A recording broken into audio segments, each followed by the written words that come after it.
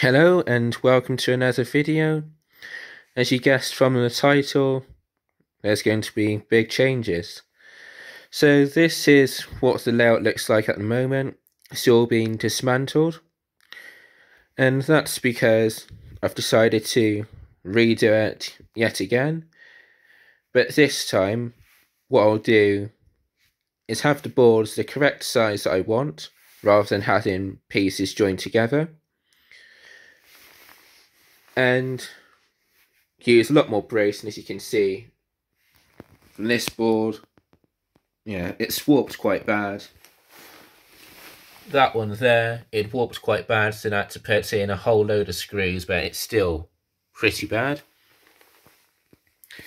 And this one here it was, it was actually okay. It was one of the better ones but it was never really wide enough for what I needed it had another piece added onto it, but for some reason, even though there's both both of them are supposed to be nine mil ply, it was a little bit thicker. So then, actually, on one side, it to be packed up for the track, and that was where the fiddle yard was. So it never really worked right. Trains were they could run over it, even though it only had the fiddle yard there for a short time. It just, yeah, it wasn't right and where there's two pieces put together, that's have extra bars like this going across to hold them together and keep them level. And again, it just didn't really work well. And it seemed a shame to get rid of all of these boards, as they were the layout. And apart from a few bracing issues, they were pretty good. So I had an idea. How about, being that they're not quite wide enough for what I want, but plen there's plenty of width in them for a good sized fiddle yard, even though just about make out where the tracks were. So it'd come in here and then go out along there even if I was to add another track on that side, being I'd have space, that track would end up being shorter. the further you go out, the less space you have because you need to come back in at the other end.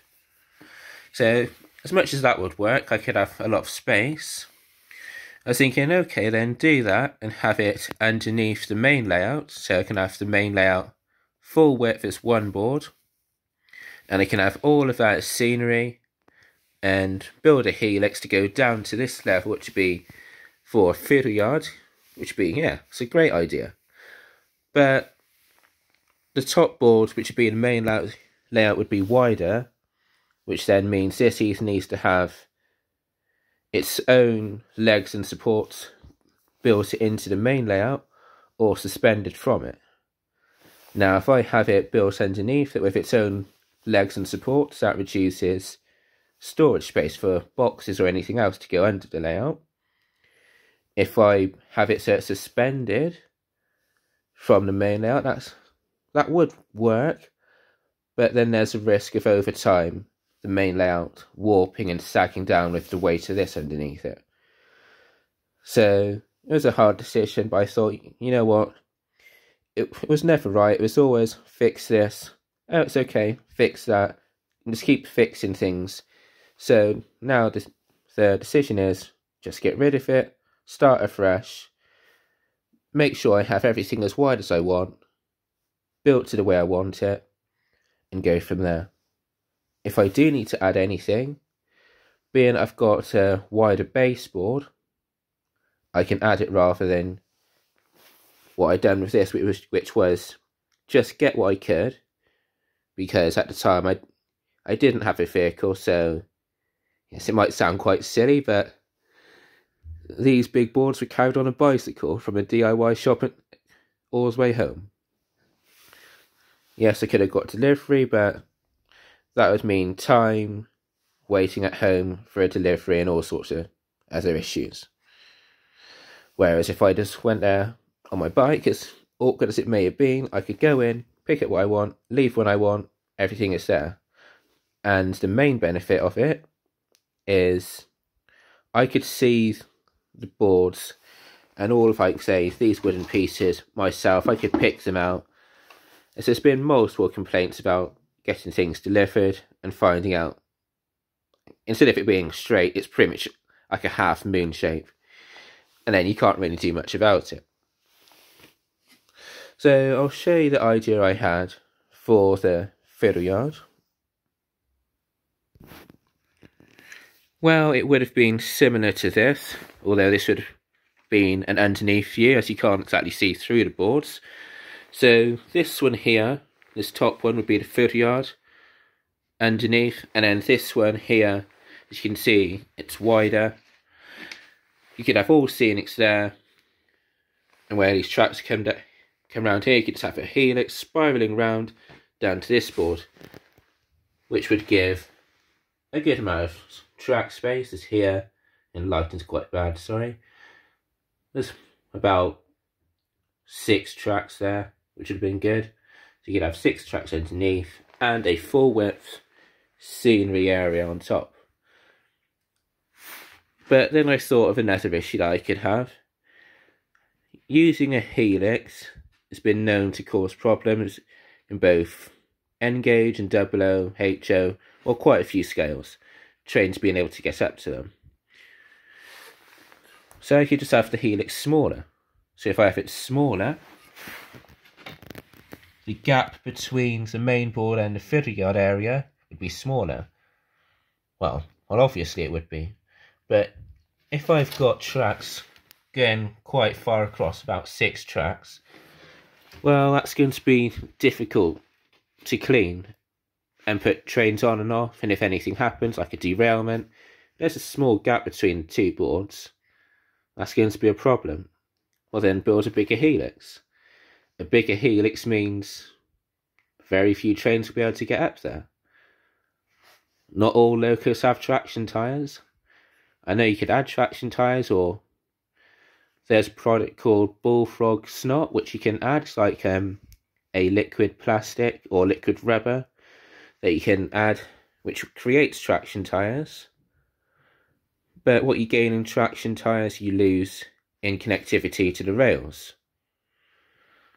So it was always going to be a 50-50 gamble whether the train could even run and also the higher it goes up the helix, the more drag there is, so shorter trains, which in that case, why have such a big fiddle yard if you can only run, run a loco of two or three coaches? Seems pointless. So the next idea would be to build a big helix, but with multiple spirals or quite a few close together, which would be a bit difficult to clean, but if it's not as steep, there's better chances of running trains up there. Which then, in turn, means yes, I can have a big layout on top, fiddle yard below, but again, it's how are you going to support both of them? So, completely scrap that idea.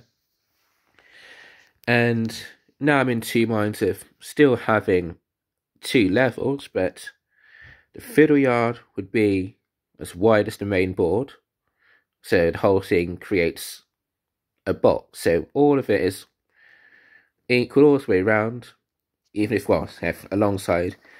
In terms of support and weight distribution, all of it will be equal. And if I have enough space, I can clean everything. Now, usually, a fiddle would just be on one side of, like, say, your layout. You'd have a scenic divide and then scenic area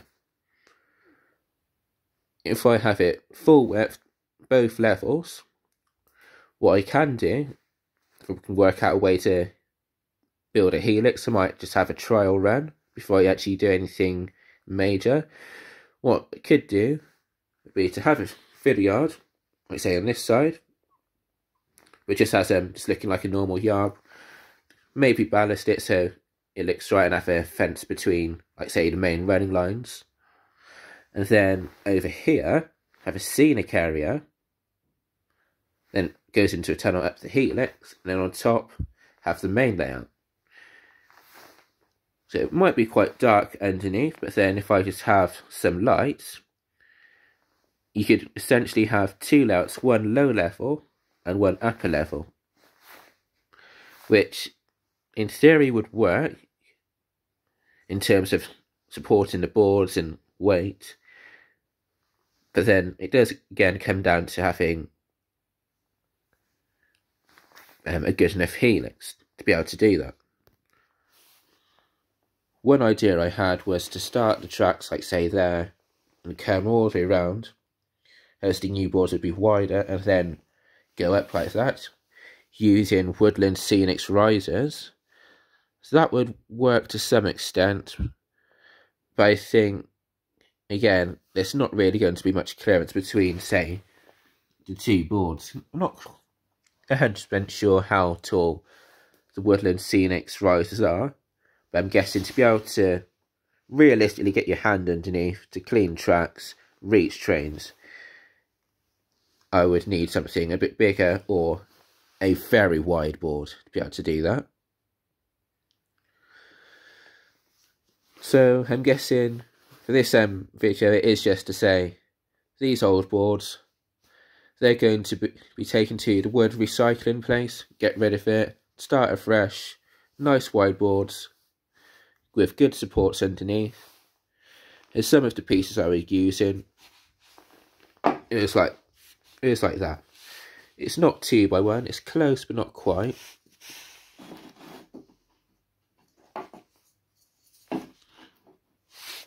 That's a two by one. And there's a considerable difference between the two. Yes, I'm not really going to like expeditions and shit and train shows, things like that. The layout's not really being moved. So, yes, I could have got away with this, but it turned out I couldn't. Because things just didn't really work out that well. And where this is so thin, it was actually quite difficult to get a decent screw in without it splitting, even if I pre drilled the hole. There just wasn't really anything there. And I'd found um, these um, in one of the bins in a hardware store. I think they was like originally for some kind of pallet or whatever it was. They're nice and strong and treated. Not quite two by one. You can see they're a little bit shorter. And again, it was close, but not quite right. For small pieces, say cross members with um, a centre beam going across. So, for argument's sake, split it like that. It worked alright, but I was never really happy because I, I knew it wasn't quite thick enough. So, again, the whole lot is just going to be uh, taken away and rebuilt. Thank you for watching, and if you've got any comments or any questions, feel free to add them, and subscribe please. Thank you. Goodbye.